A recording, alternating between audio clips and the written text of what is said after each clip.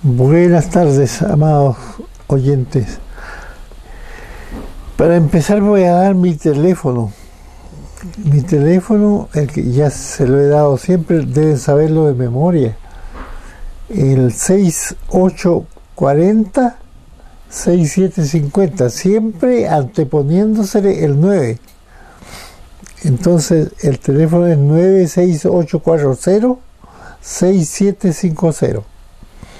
Ahora estamos en condiciones de eh, continuar con el estudio, pero quiero decirles que eh,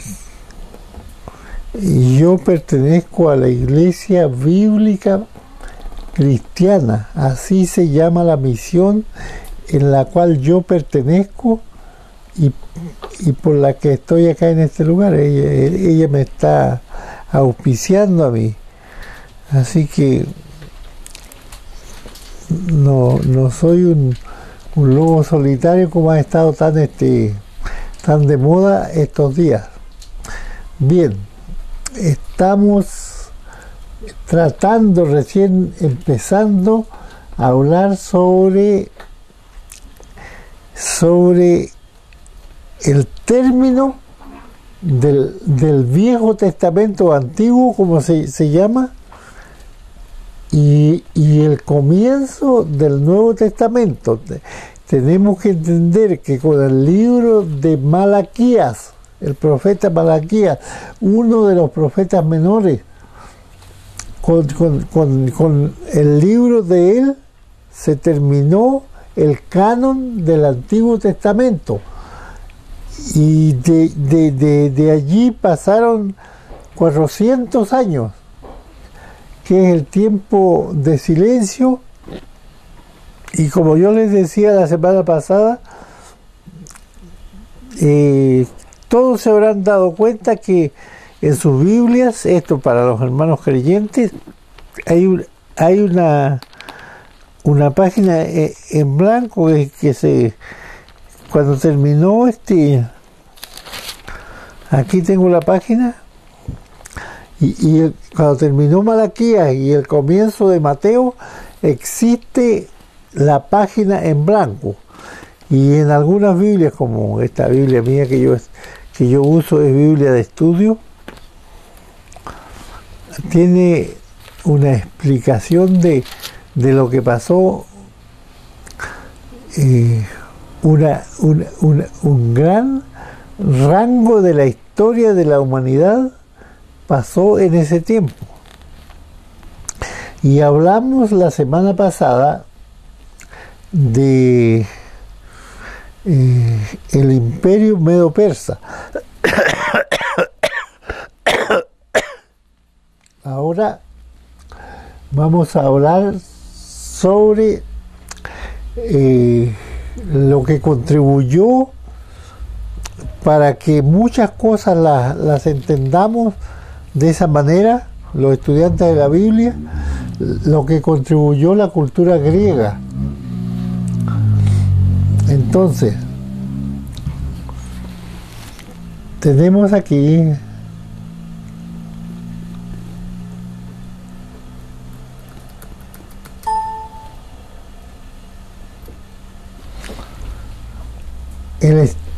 el, historiador Gustav Klimberg vivió entre los años 1875 y 1941, o sea, somos contemporáneos. Yo, yo nací en el año 1941. Fue un historiador sueco, profesor de historia y la ejerció en la Universidad de Göttingen hasta el año 1918. Y este hombre se dedicó exclusivamente en la historiografía. O sea, la historiografía es el registro escrito de la historia, es la memoria fijada por la propia humanidad con la escritura de su propio pasado.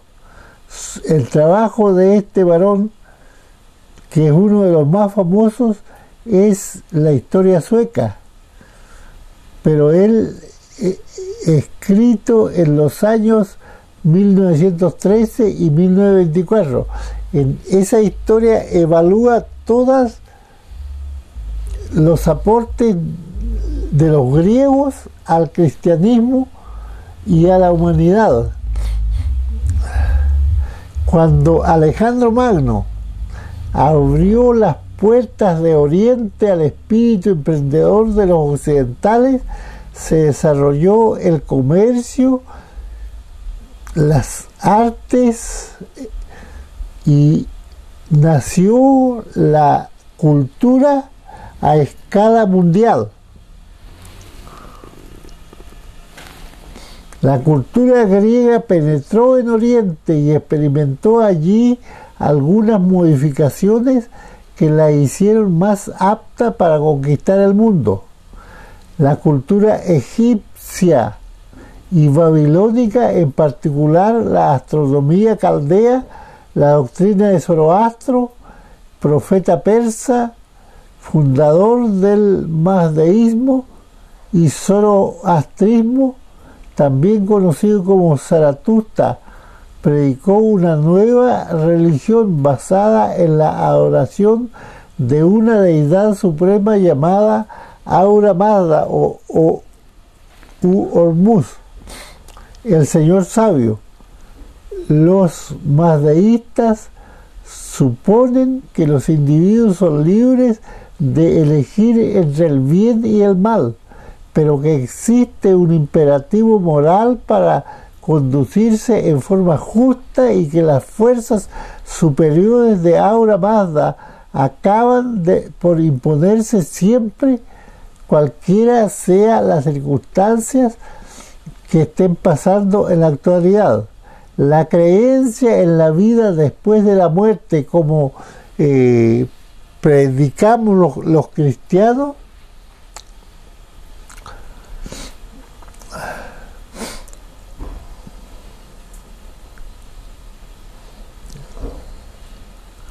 nos impelen, nos impelen a conducirnos en forma justa y que las fuerzas superiores de Aura Mazda acaban por imponerse siempre. Como dije, la creencia en la vida después de la muerte, como predicamos los cristianos, traduce esta confianza en el triunfo de las fuerzas del bien.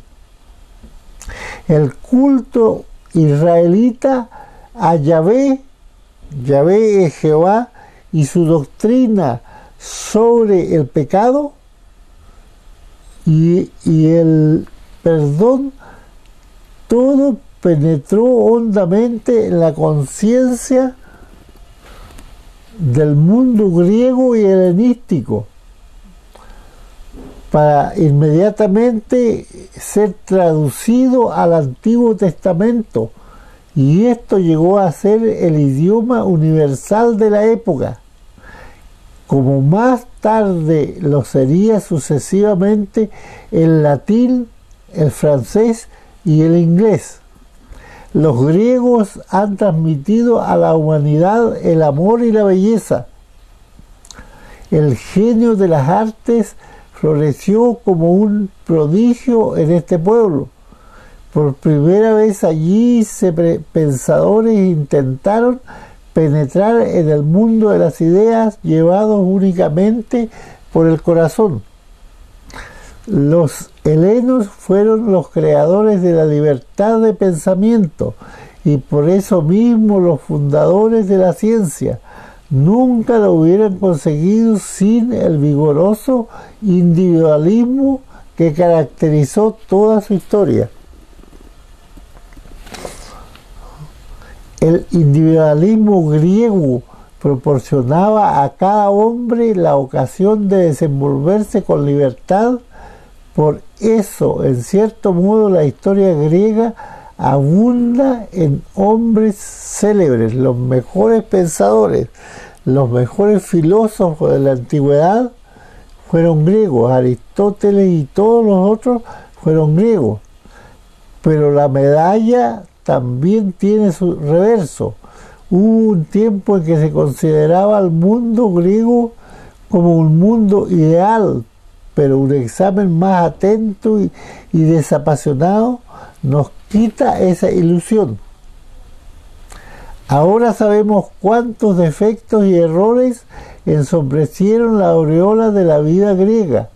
Basta pensar en la esclavitud y en la situación social de la mujer, lo que constituía la fuerza de los helenos en el plano cultural era su libertad y también podíamos decir su debilidad desde el punto de vista político.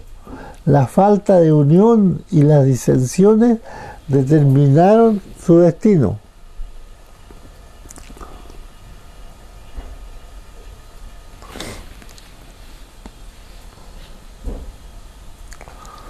Bueno, digamos que como un intervalo entre este pensamiento y antes de seguir avanzando en la cultura griega, la independencia de una raza que, que vivió en Palestina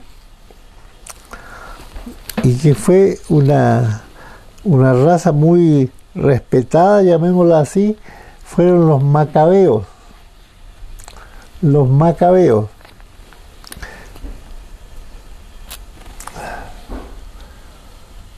El, primero que figura en la historia de los sacerdotes macabeos es Matatías, sacerdote del linaje de Asmón, un valeroso patriota judío, enfurecido por los instintos de Antíoco Epifanes, fue rey de Siria de la dinastía Seleucida desde el 175 a.C. al 164 a.C. Su mirada, su pensamiento, su meta era destruir a los judíos. Y este hombre en su reinado, eh, él reinó sobre un grupo de judíos locales y alzó la bandera de la sublevación tuvo cinco hijos que fueron heroicos guerreros. Juan, Simón, Judas, Eleazar y Jonatán fueron sus cinco hijos. Su hijo Judas Macabeo, eh, quiere decir martillo, reconquistó Jerusalén en el 165 antes de Cristo y purificó y consagró el templo, porque el templo fue construido como una morada de Dios, pero si se había eh, ensuciado tanto que el Señor Jesús dijo este templo, dijo, eh, es, eh, casa de Dios, pero ustedes lo han hecho, le dijo a los fariseos, cueva de ladrones.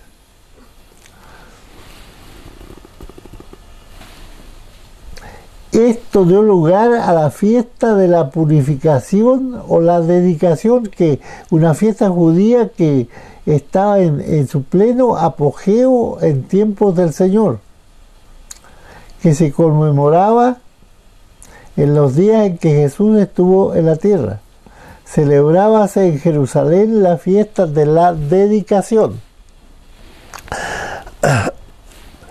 Era invierno.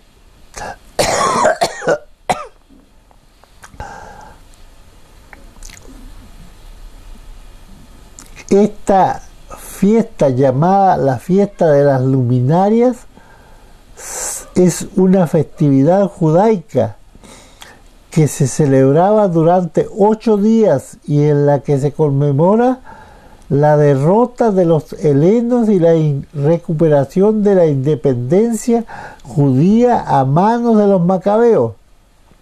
Y la posterior purificación del templo de Jerusalén y los íconos paganos del que se recuerda el milagro del candelabro que ardió durante ocho días consecutivos con una exigua cantidad de aceite.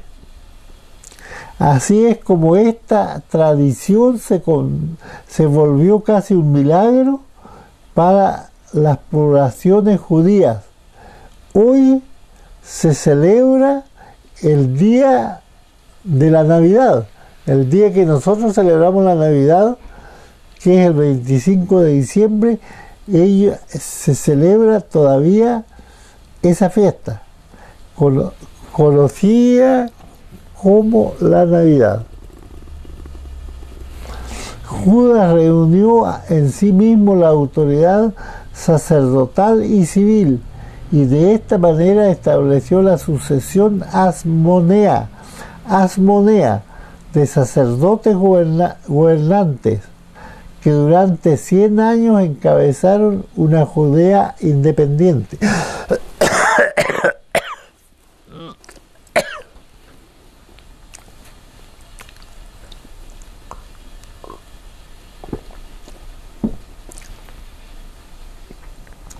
Los macabeos continuaron su lucha contra Siria eh, y las naciones vecinas que amenazaban a Israel. Judas Macabeo murió en, el año 161 de nuestra era y asumió el mando su hermano Jonathan, quien se dio, quien se alió con Siria, obteniendo paz y cierta libertad para Judea.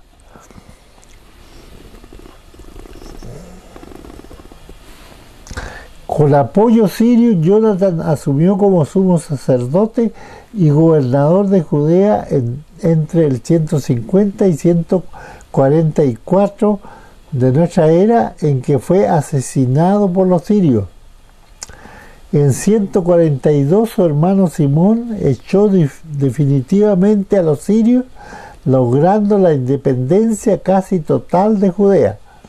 Simón renovó el pacto con Roma que había hecho sus hermanos Judas y Jonathan. Entre tanto, el poderío romano se iba extendiendo.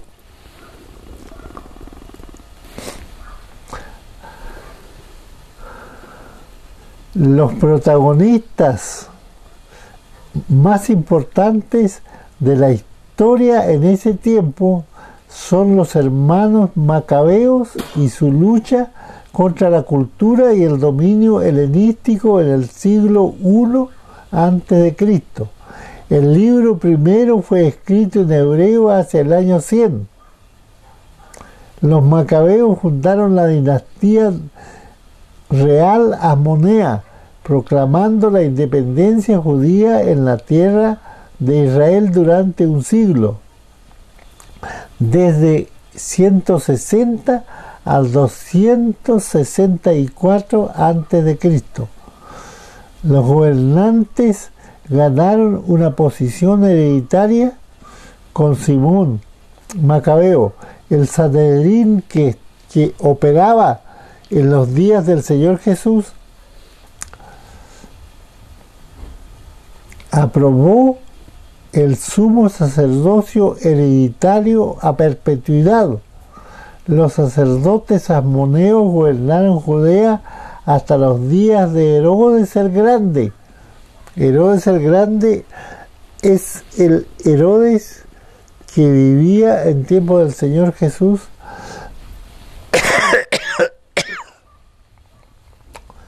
Bajo su gobierno, Judea experimentó un proceso de expansión territorial y fortalecimiento. Fue tal el engrandecimiento de Juan Hircano que se autodenominó rey de Israel, título que conservaron los judíos hasta que Roma se apoderó del país. Recuperación del territorio judío bajo el gobierno de, su hijo Alejandro Janeo, los judíos volvieron a poseer todo el territorio que habían logrado dominar en el tiempo de los reyes David y Salomón. No obstante, este fue el más cruel e impío de todos los sumos sacerdotes.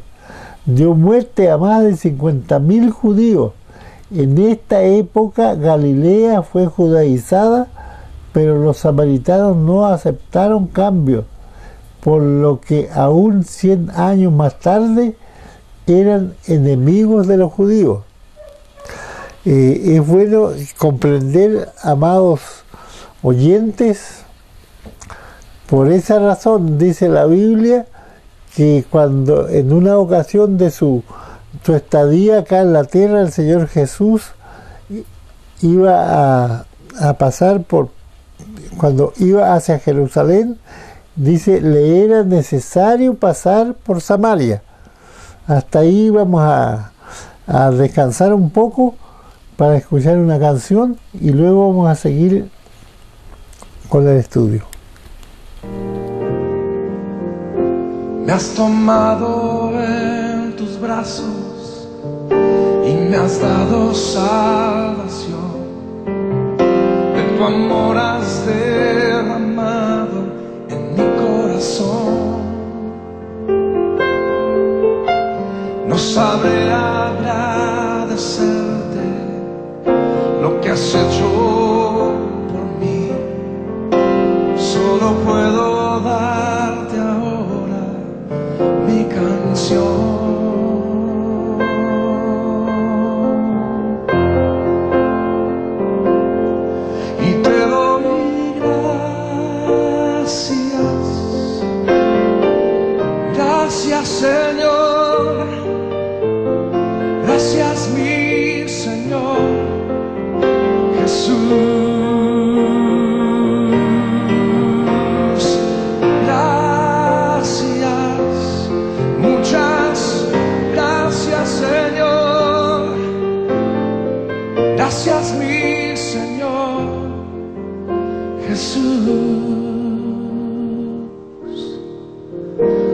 You took me into your arms. You have shown me truest love. You have given me such mercy I'm unworthy of. Lord, your mercy everlasting.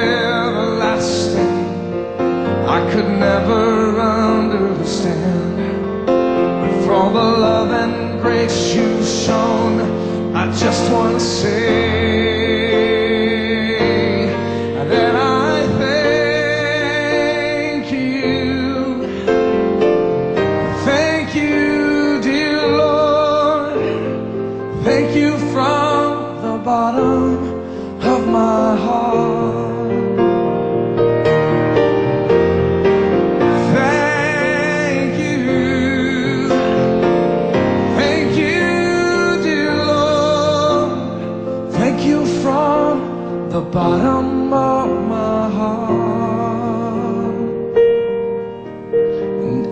cross you gave your life for me as a gift of your great love. It was the gift of everlasting life from above.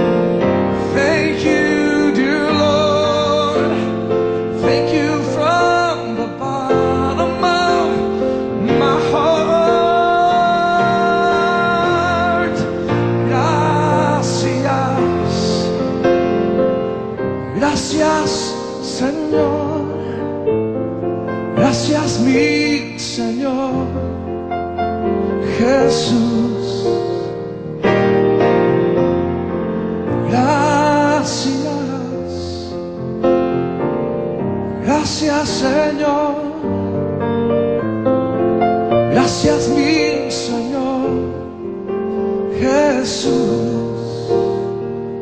If you're watching and you just like to sing this little song with me, if you sing it in English or Spanish, it's just very simple. There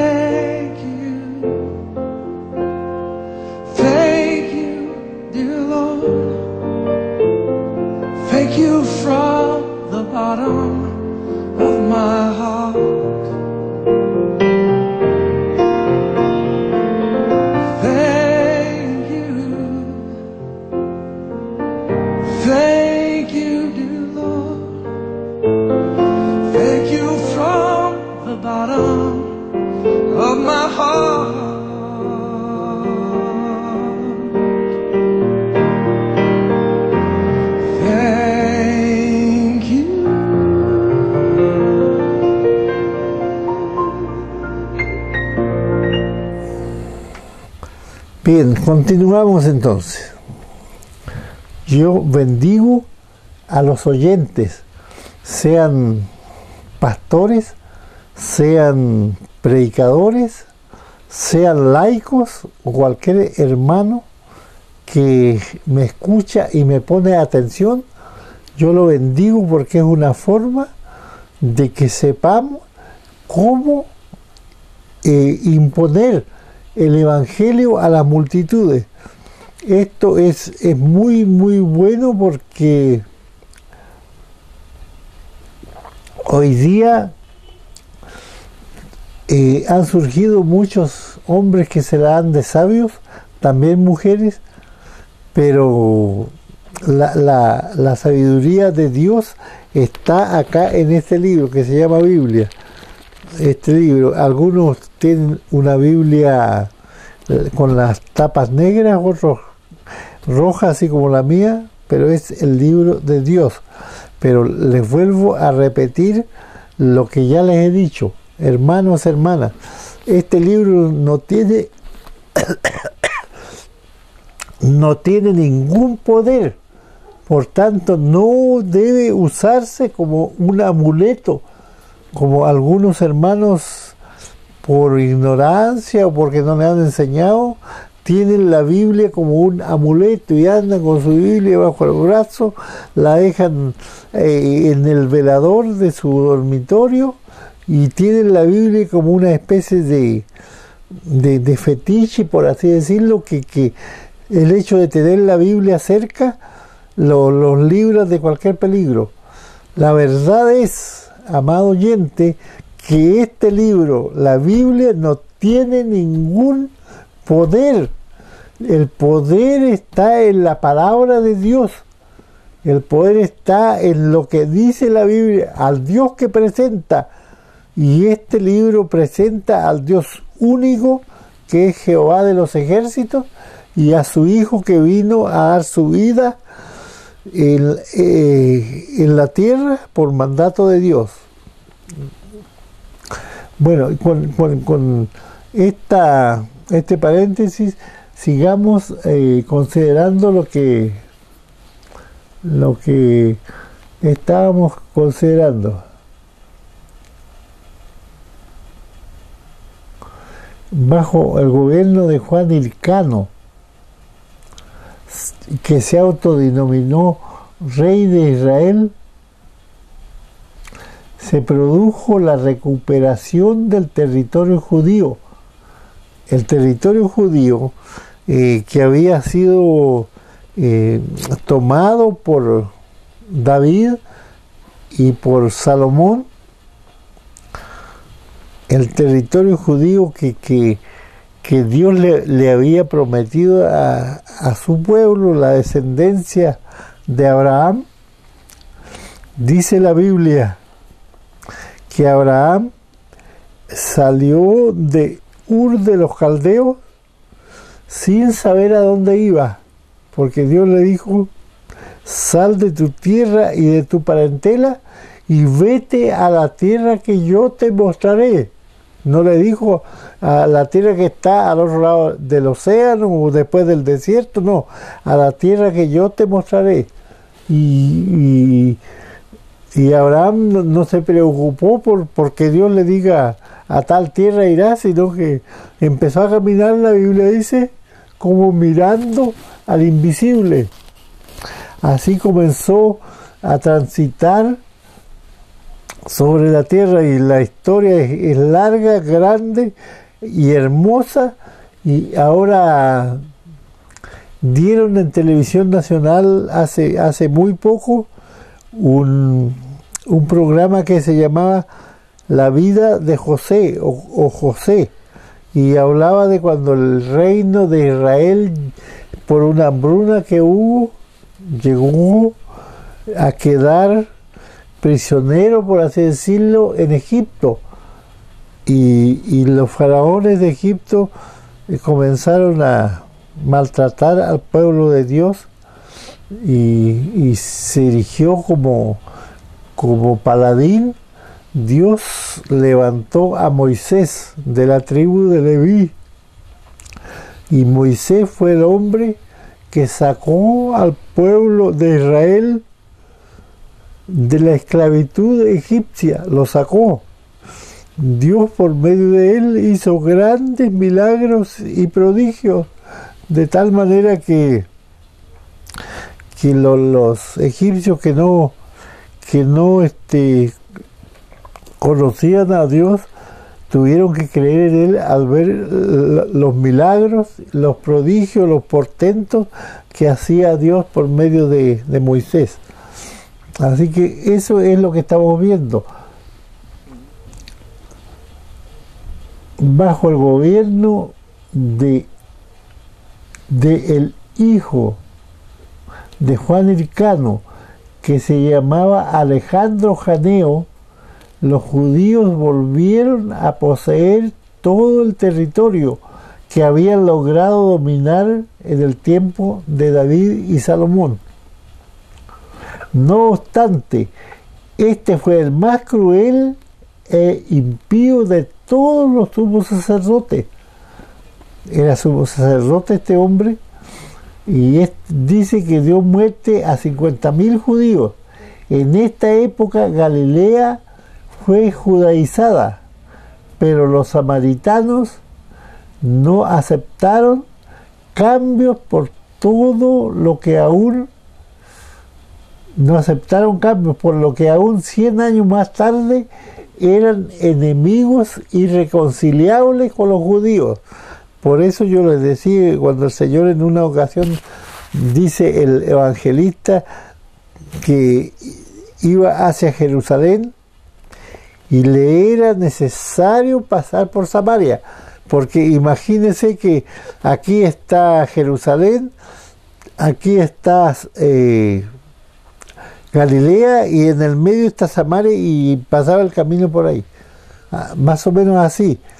Entonces, este, eso es para que nosotros entendamos que después que murió el último de los, los de los macabeos, o sea, de los así llamados macabeos, se, se funda o se comienza, se levanta la secta de los fariseos, que la tenemos una la, tenemos en la Biblia muy el Señor habló mucho de los fariseos.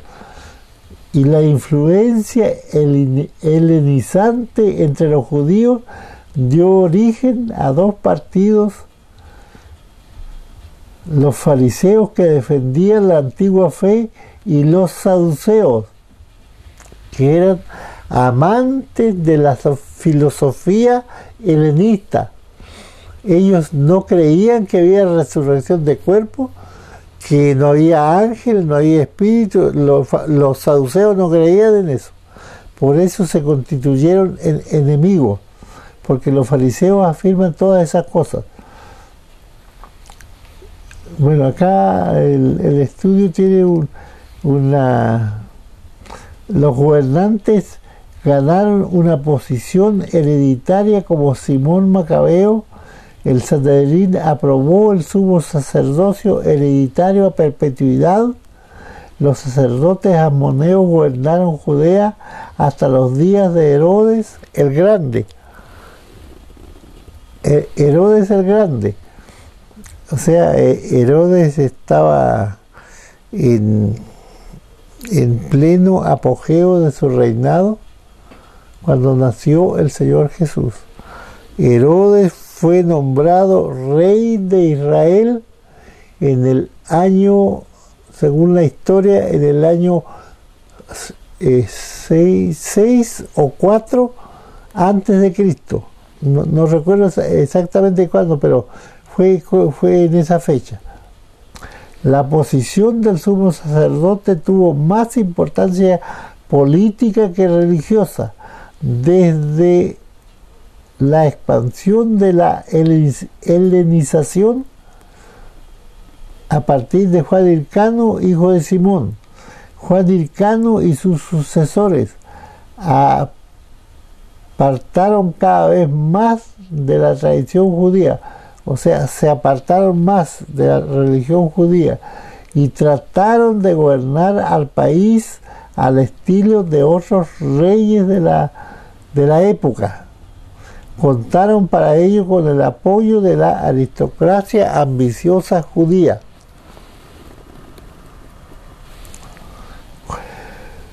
Juan Hircano cambió los nombres judíos de los hijos por nombres griegos y sus sucesores se amoldaron cada vez más al helenismo.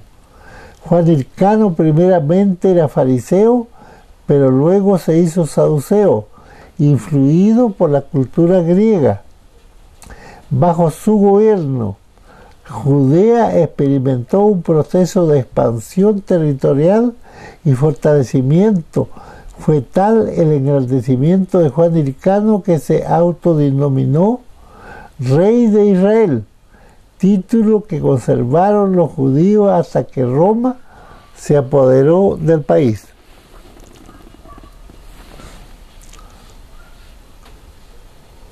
Bajo el gobierno de su hijo Alejandro Janeo, los judíos volvieron a poseer todo el territorio que habían logrado dominar en el tiempo de David y Salomón. No obstante, este fue el más cruel e impío de todos los sumos sacerdotes. No, no olvidemos que ya les dije que en una ocasión hizo matar a 50.000 judíos.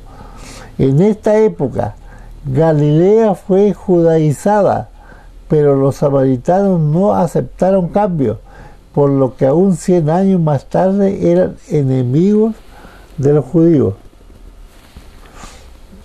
Surge los fariseos y los saduceos. La influencia helenizante entre los judíos dio origen a dos partidos, los fariseos que defendían la antigua fe y los saduceos amantes de la filosofía secular helenista. Además de esto, se nombró base para la aparición de dos partidos políticos religiosos conocidos como los herodianos y los esenios. La Biblia habla de todos esos partidos. La profanación de Antíoco Epifanes eh, en ese tiempo, eh, escúchenme, en ese tiempo fue cuando Antíoco Epifanes ocupa un lugar muy especial en la profecía bíblica debido a su analogía con el anticristo.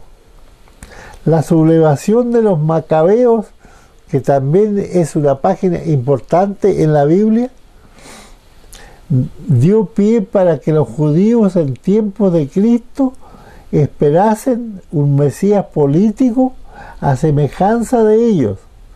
Las hazañas de los macabeos estaban muy frescas en la memoria de todos los judíos.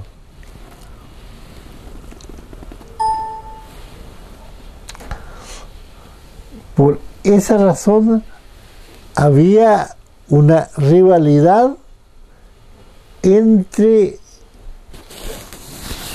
los fariseos y el común de la población, por así decirlo, los más pobres de la civilización judía, fueron los que más aceptaron eh, a Jesús cuando vino a la tierra, en cambio los, fariseos no, no lo aceptaron. Por esta razón, por las hazañas de los macabeos, porque estaban muy recientes y todos lo tenían muy, muy fresco en la mente, eh, esto de que los macabeos habían hecho aquí, allá, allá, allá, qué sé yo. Tenían, como les digo,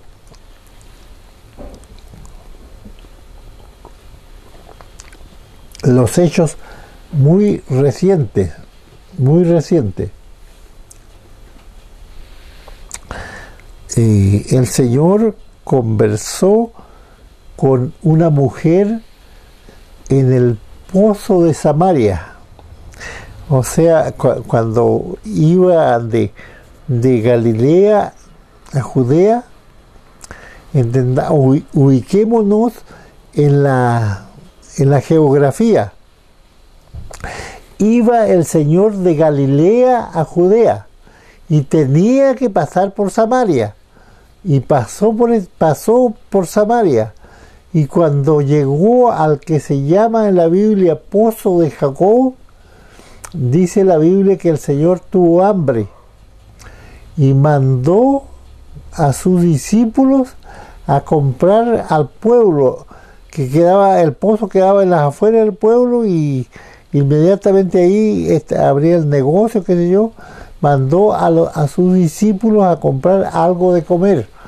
En ese intertanto llegó una mujer al pozo a sacar agua y el señor que estaba sentado al lado ahí, cuando la vio, le dijo, dame de beber, le dijo la mujer. Entonces, obviamente la mujer se, se asustó un poco y, y le dijo, ¿cómo tú siendo judío me pides a mí de beber que soy mujer samaritana? Porque, ya les digo, los judíos y los samaritanos no se trataban entre sí. Y, el Señor le dijo, si tú conocieras quién te dice, te dice dame de beber, tú le pedirías a él y él te daría agua viva. Es que el Señor no, no, no, no perdía la oportunidad de predicar el Evangelio y de dar a conocer su doctrina ante todo aquel que quería escucharlo. Entonces le, dijo, el Señor le dijo, cualquiera que beba de esta agua, o sea, cualquiera que beba de esta, del agua de este pozo volverá a tener sed, obvio.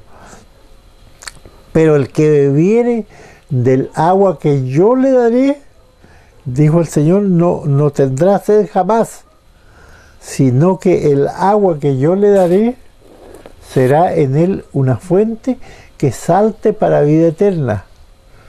Y la mujer se interesó. Le dijo, Señor, no tienes, no tienes con qué sacarlo y, y dónde tienes el agua viva. Entonces el Señor le dijo, ella le dijo, dame de esa agua para que no tenga yo sed y ni venga ni tenga que venir a sacarla. Entonces el Señor le dijo, ve al pueblo, llama a tu marido y ven acá. Entonces la mujer se, se, este, se acordó que no tenía marido. O sea, tendría marido, pero no estaba viviendo con el hombre que era su marido. Y le dijo, no tengo marido, le dijo, así. Entonces el Señor le dijo, bien has dicho, no tengo marido porque cinco maridos has tenido y el que ahora tienes no es tu marido. Esto has dicho con verdad. Entonces la mujer al ver que le, que le, le había expresado esta parte de su vida, le dijo, Señor, me parece que tú eres profeta. Le dijo, nuestros padres adoraron en este monte. Y ustedes los judíos dicen que en Jerusalén es el lugar donde se debe adorar. Entonces el Señor le contestó y le dijo, mujer, créeme, porque la hora, la hora viene y ahora es cuando ni en Jerusalén ni en este monte adoraréis al Padre. Ustedes le dijo, adoran lo que no conocen. Nosotros adoramos lo que sabemos porque la salvación viene de los judíos. Entonces eh, la mujer se, se, asustó y, arrancó, se fue, dejó su cántaro ahí junto al pozo y se fue al, al pueblo y empezó a, gritar en la calle. La Biblia no dice que gritaba, dice, le decía, pero pienso yo que lo gritaba por, por la por, la el susto que le parecía de encontrar un hombre que le, que le, que le declaraba toda su vida pasada. Entonces, este, y decía, vengan, vengan, vean un hombre que está ahí, dice que me, ha dicho todo lo que yo he hecho, ¿no será este el Cristo? Porque el pueblo de Israel estaban esperando el Cristo. Eh, hay, hay otras cosas que, que, quería explicarle, pero lo vamos a dejar para la otra semana y se lo voy a explicar con más calma. Eh, amados hermanos y oyentes en general, que el Señor los bendiga, que el Señor les, les, haga que le queden eh, removiendo la psiquis las verdades que yo les he dicho en esta tarde. Es necesario buscar a Dios, es necesario creer a Dios y es necesario cobijarse bajo sus alas de misericordia. Mi, con esto me despido, mi teléfono nuevamente eh, 6840 6750 y anteponiéndote el número 9. Muchas gracias, que el Señor les bendiga.